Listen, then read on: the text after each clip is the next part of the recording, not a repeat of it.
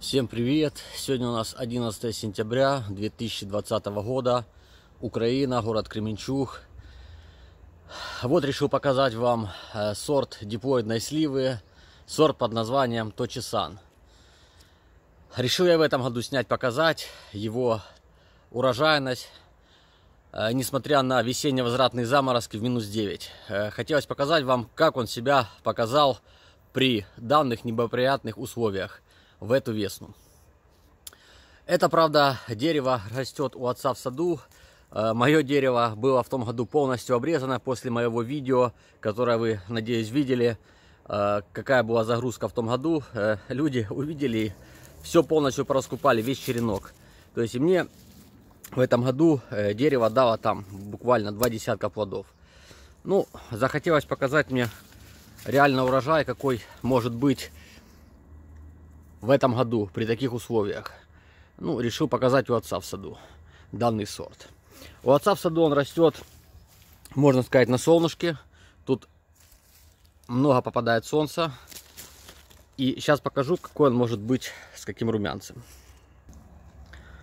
Вот я обошел там, где попадает солнышко. Вот такой может быть окрас у Точисана при солнышке, если он будет посажен на солнышке с румянцем, с розовым. Дерево урожайное. Кстати, с этого саженца я брал себе черенок, который прививал в сливу. Вот сейчас покажу. И я получил на один год раньше урожай, чем мой отец. Он покупал этот саженец, я у него брал черенок и прививал свою сливу. То, что я показывал в том и позатом году у себя урожай. В целом сорт крупный, урожайный, вкусный, поздний, может храниться около месяца э, в подвале, я проверял в том году. Также может висеть на дереве, вот сейчас 11 сентября, может висеть до конца сентября на дереве. В принципе, он не осыпается, не опадает. Может подгнивать без обработок э, свичем.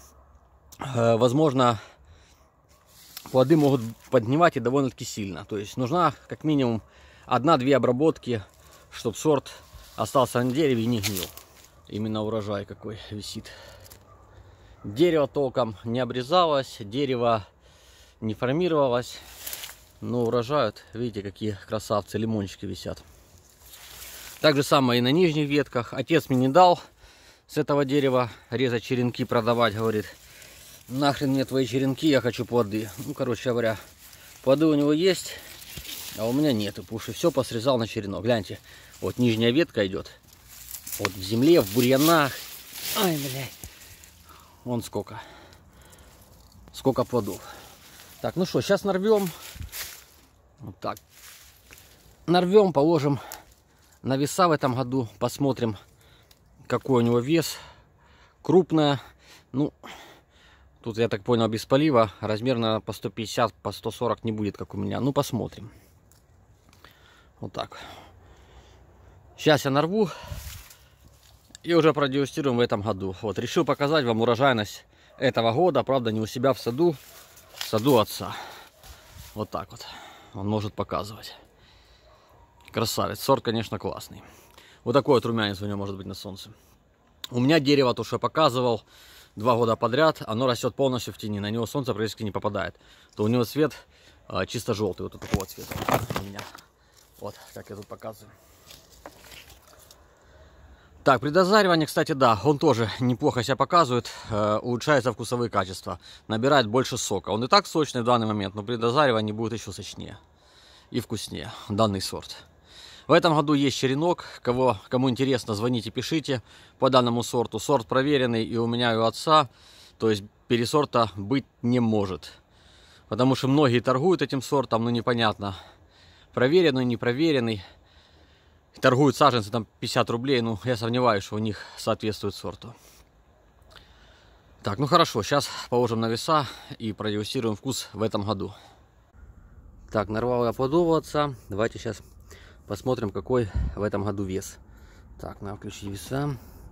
Уже, блин, темнеет. Так, 145 грамм. Отлично. Это крупноплодная слива, очень крупноплодная, даже диплоидная слива. Очень крупная, 168 грамм, почти 170. Гляньте какие. Наверху дерева я рвал. Внизу чуть помельче были. Вот по 140. Э, нашел один под вообще такой крупный. Сейчас вам покажу. 139 грамм. Сейчас все положу, чтобы примерно вы понимали, какой вес у этого диплоида. Так, тут мы посмотрели. 137 грамм. 142 грамма. 134. А вот самый крупный. Гляньте какой. Здоровенный. 195 грамм. Вот какой-то часан может быть. Я думаю, при хорошей нормировке можно разогнать плоды до 200 грамм спокойно. Если хорошо нормировать. Гляньте, ну блин, вообще громадины. Это средний вес, там 140 грамм, грубо 130, 147, 130 вот. 139. Вес, короче, шикарный. Плоды. Вот это вот самый крупный плод. Гляньте какой. Шарик. Давайте его и разрежем. Так, только что я снимал сорт сливы, все, весь нож грязный. Так, давайте часан разрежем.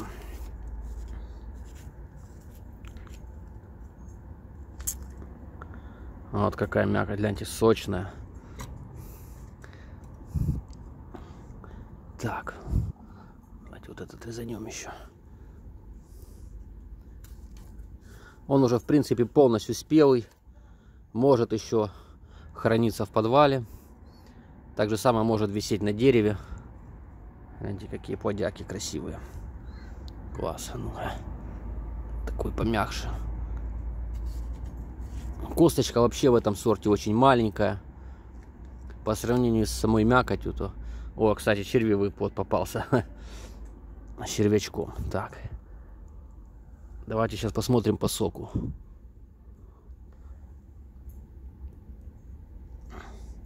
Гляньте, течет сок. Сорт очень сочный. Давайте попробуем по вкусу.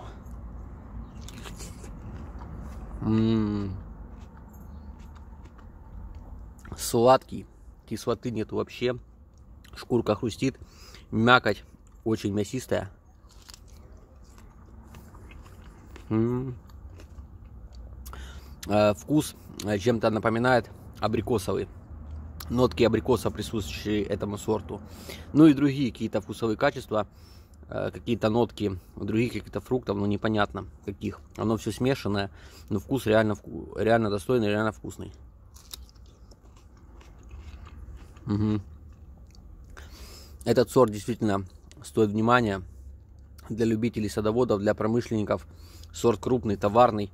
Гляньте, какие плодяки. Просто, ну, сорт очень очень классный. Может быть с таким носиком, может быть с румянцем на солнышке. Ну, сорт полностью выспел, сейчас хороший, отличный. Есть черенок. Кого заинтересовал, кто первый раз видит этот сорт, звоните, пишите. То есть мы продаем, реализуем черенки этого сорта. Сорт поистине классный. Гляньте. Гляньте. Все бежит. Сок белого, прозрачный, белого, белого говорю, прозрачный, не окрашенный. Косточка. Косточка, когда э, плод полежит, она в принципе отделяется. Сейчас она еще с мякотью, вот так вот. А если дать ему полежать недельки 2-3 или выспить на дереве, то косточка в принципе отделяется.